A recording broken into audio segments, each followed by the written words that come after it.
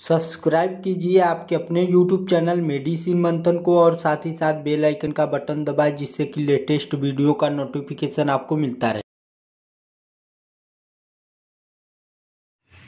स्वागत है दोस्तों आप सभी का आपके अपने यूट्यूब चैनल मेडिसिन मंथन में, जहाँ पर पाते हैं दवाइयों के बारे में संपूर्ण जानकारी। तो दोस्तों, पेश कर रहा हूँ bilastine and montelukast tablets IP.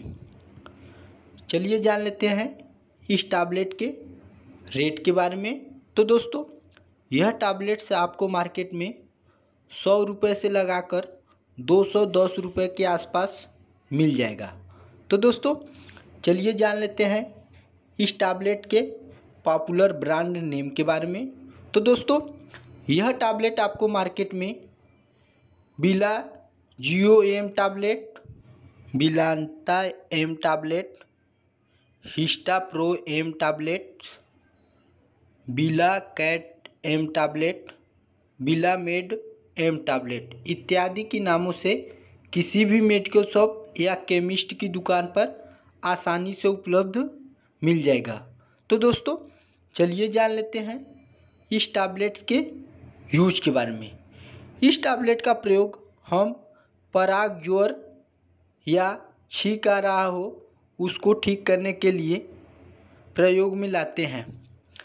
Asthma या दमा का बीमारी हो, उसमें इस टैबलेट का प्रयोग बहुत ही अच्छा माना जाता है। गंभीर रूप से एलर्जी हो, उसमें इस टैबलेट का प्रयोग बहुत ही अच्छा माना जाता है। पुरानी से पुरानी दाँत खाज खुजली हो, उसको ठीक करने के लिए इस टैबलेट का प्रयोग किया जाता है। शरीर पर फफोले या लाल चकत्ते हो गया हो, उसमें इस टैबलेट का प्रयोग करते हैं। सर्दी जुखाम हो, उसमें इस टैबलेट का प्रयोग बहुत ही अच्छा माना जाता है। मौसम चेंज होने के दौरान होने वाले सर्दी खांसी खुजली को ठीक करने के लिए इस टैबलेट का प्रयोग किया जाता है। सांस लेने में तकलीफ़ हो, उसमें इस टैबलेट का प्रयोग किया जाता है। शरीर पर दवा का रिएक्शन हो गया हो, उसमें इस टैबलेट का प्रयोग करते हैं। चर्म रोग जैसी बीमारी हो, उसको ठीक करने के लिए इस टैबलेट का प्रयोग किया जाता है। तो दोस्तों, चलिए जान लेते हैं इस टैबलेट के डोज के बारे में। तो दोस्तों, इस टैबलेट को हम आवश्यकता के अनुसार दिन में एक से दो टैबलेट ले सकते हैं। तो दोस्तों, चलिए जान लेते हैं इस टैबलेट के साइड इफ़ेक्ट के बारे में। यदि आपने इस टैबलेट का सेवन किए हैं तो आपको निम्न साइड इफ़ेक्ट की सामना करना पड़ सकता है।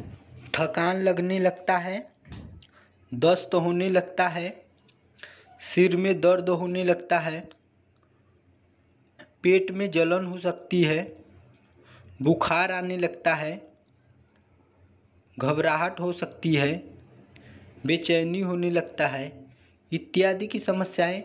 यदि आपको दिखे तो इस टैबलेट का सेवन करना बंद करें और अपने किसी नज़दीकी डॉक्टर की सलाह लें।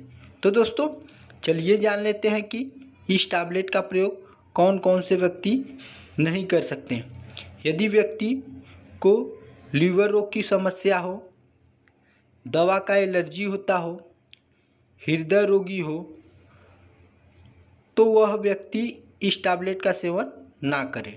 दोस्तों, यदि आप इस चैनल पर नए हो तो चैनल को सब्सक्राइब करें और वीडियो को ज़्यादा से ज़्यादा शेयर करें। जय हिंद जय भारत।